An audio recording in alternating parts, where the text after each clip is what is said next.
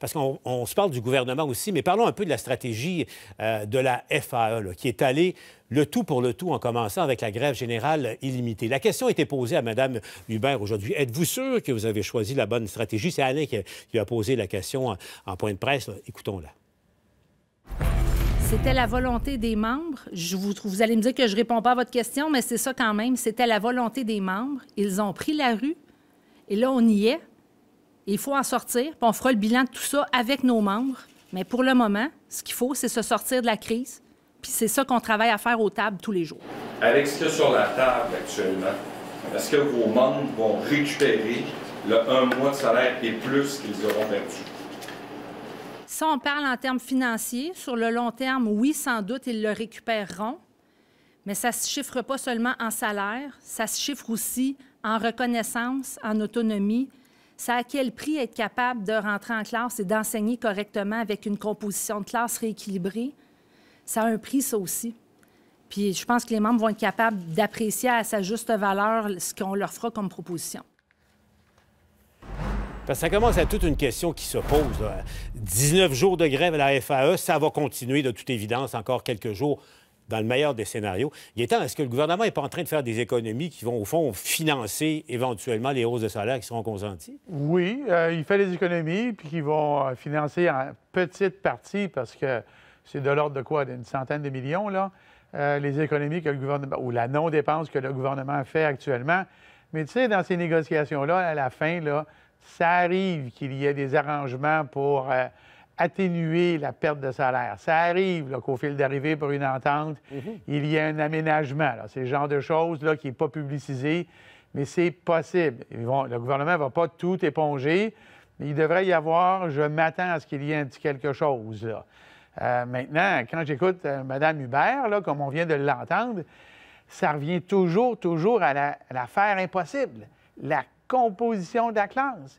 On ne peut pas le régler au sortir de cette négociation-là, c'est-à-dire en janvier, faute de personnel. Et tu vois à quel point elle tient, puis elle a raison d'y tenir. Je ne conteste pas ça. C'est une revendication légitime, mais qui amène un remède qui va prendre un certain temps et qui demande un engagement de la part du gouvernement.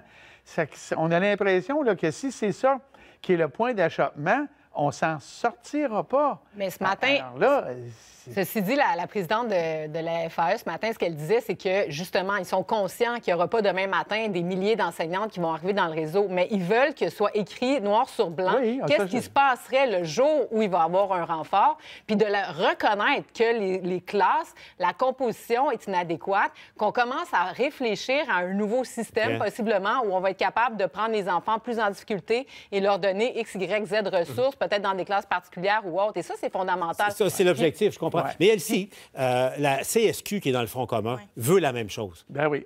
Et eux, au niveau de leur stratégie, ils ont décidé d'y aller par gradation. Ce qui fait que les élèves où c'est la CSQ qui est présente ont été beaucoup moins pénalisés que les enfants où c'est la FAE qui est présente dans les écoles. Je repose ma question.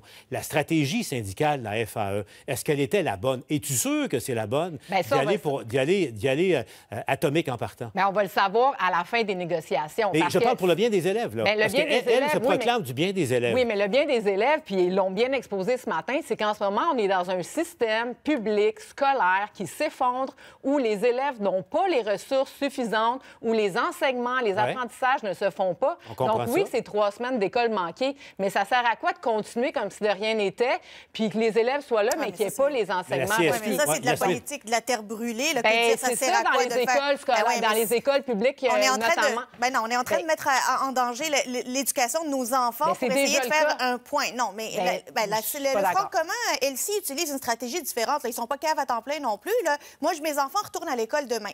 Demain, là, mes deux filles retournent à l'école. Et ça, je me dis, la pression n'est pas moindre sur le gouvernement parce que le Front commun a choisi une, euh, stratégie ben par gradation. La gradation crée la pression petit à petit. Et en passant, le Front commun n'exclut pas d'aller en grève générale illimitée dès le mois de janvier. Ne l'exclut pas. En parle ouvertement. Et créer cette pression-là en en parlant ouvertement. La FAE a décidé de sauter de, l'hélicoptère, pas de parachute, puis il faut mettre des, euh, faut mettre des matelas pour qu'on puisse les retenir. C'est ça qu'on nous demande de faire.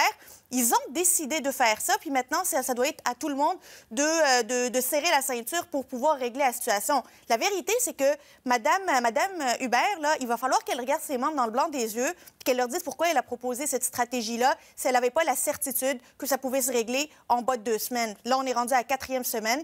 Les enfants en pâtissent, ses membres en pâtissent.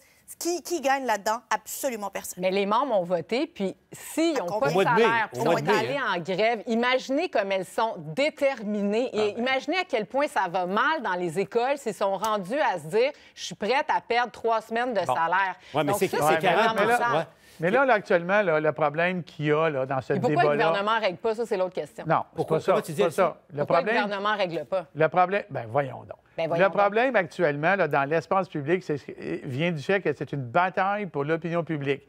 D'un côté, du gouvernement, on n'est pas assez pédagogique sur ce qui se passe à la table de négociation, ce qui laisse toute la place au syndicat qui, lui, est dans une attitude de jusqu'au boutiste.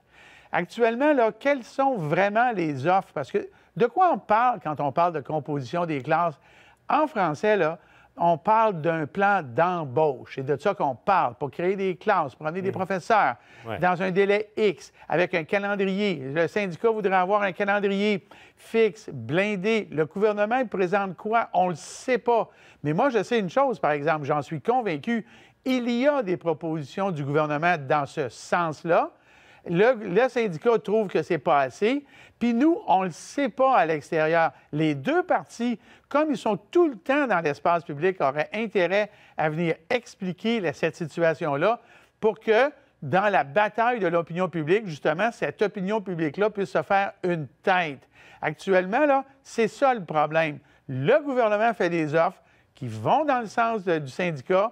Le syndicat trouve que c'est pas assez, puis pas assez vite qui dit exactement la vraie vérité? J'aimerais bien ça le savoir. ce qu'on sait, par exemple, c'est qu'ils ont proposé au départ 9% Là, ils sont passés à 12% alors qu'ils ont proposé 21% aux policiers. Se sont ouais, mais là, tu viens de changer de sujet, Non, mais je veux dire, c'est un tout, la négociation. Tu viens de changer de sujet. les conditions de travail. Le premier ministre a dit qu'il y en aurait de l'argent. Ben, on le sait toujours pas. On le sait toujours et, Et Mélanie, euh, oui, Mélanie Hubert sort encore aujourd'hui en nous parlant de la composition des classes. Le nerf de cette guerre-là, c'est un plan d'embauche avec un calendrier et on ne nous l'expose pas ni d'un bord ni de l'autre. Alors, il y en a un qui se plaint peut-être pour rien, puis il y en a un qui, qui avance peut-être pas assez. Alors, qu'on nous le dise, puis le salaire à la fin, c'est toujours l'affaire la plus facile à régler.